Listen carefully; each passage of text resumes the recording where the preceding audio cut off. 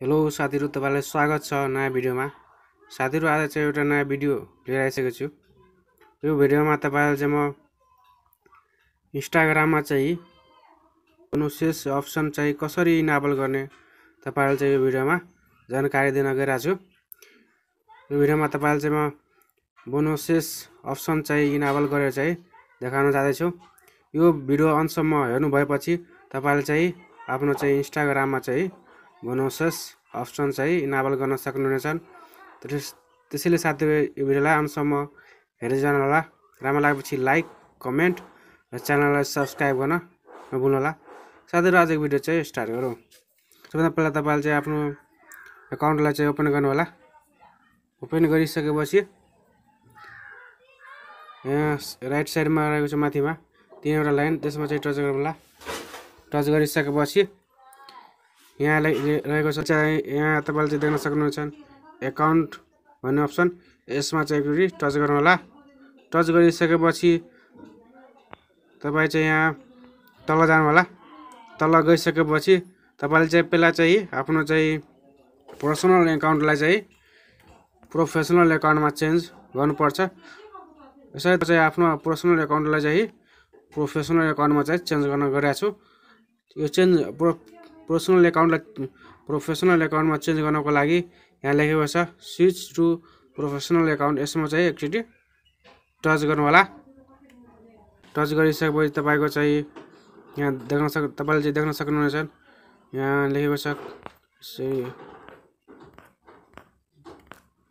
त्यसपछि यहाँ कन्टिन्यूमा एकचोटि टच गर्नु होला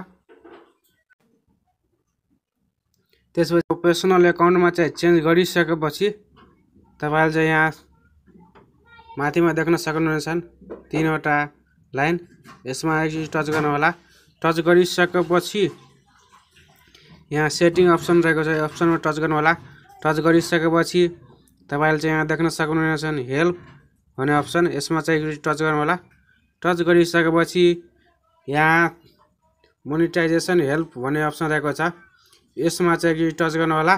टच गरिसकेपछि तपाईँले चाहिँ यहाँ देख्न सक्नुहुनेछ कन्ट्याक्ट सपोर्ट यसमा चाहिँ टच गर्नु होला टच गरिसकेपछि तपाईँले चाहिँ आफ्नो इमेल एड्रेस चाहिँ यहाँ टाइप गर्नु होला म चाहिँ टाइप गर्न गइरहेको छु।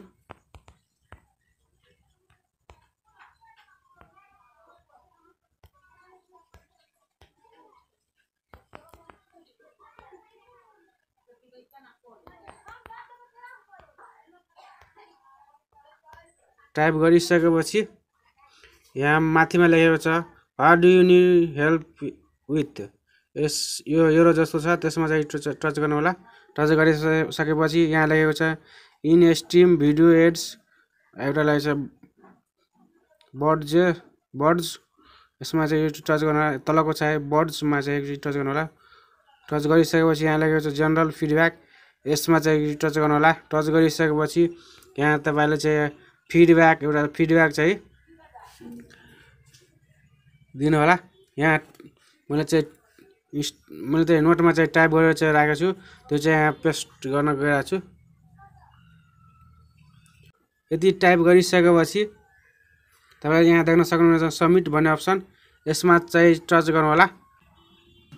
सब्मिट गरिसकेपछि यो चाहिँ बोनसज अप्सन चाहिँ चौबिस वा अडचालिस घन्टामा चाहिँ आफै चाहिँ यो इनाबल भइहाल्छ।